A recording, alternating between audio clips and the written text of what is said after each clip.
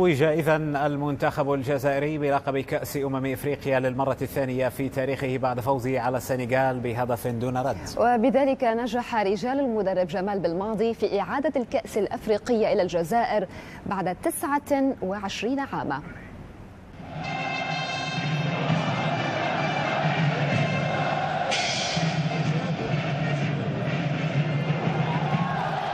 نعم ستشهد كل هذه الجماهير بمختلف أعمارها على هذا الجيل الرائع الذي أعاد الهيبة للمنتخب الجزائري بوصوله إلى النهائي بعد غياب طويل.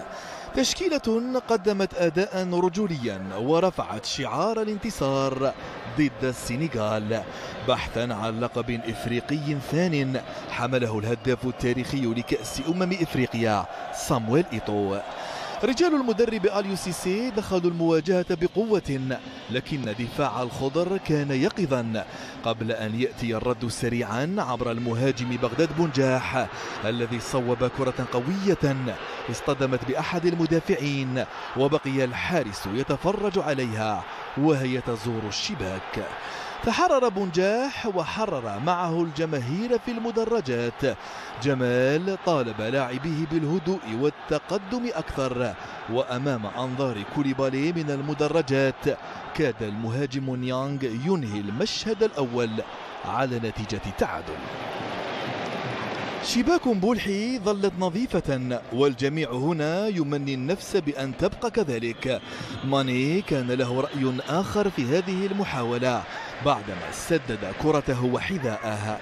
ضغط السنغاليين تواصل.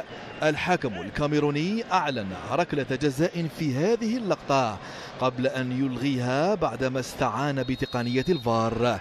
نيانغ حاول مرة أخرى لكنه لم يجد طريق الشباك. النجم فرانك ريبيري شجع الخضر وتفاعل مع مختلف الفرص وهو يتابع فرايس الذي عقد العزم على أن تبقى شباكه نظيفة. الصراع ظل متواصلا. بالعمري كان شجاعا وأغلق جميع المنافذ. قبل أن يحافظ زملاء بنجاح على تقدمهم بهدف ليتوجوا باللقب الإفريقي الذي عاد لخزائن المنتخب بعد غياب دام 29 عاما.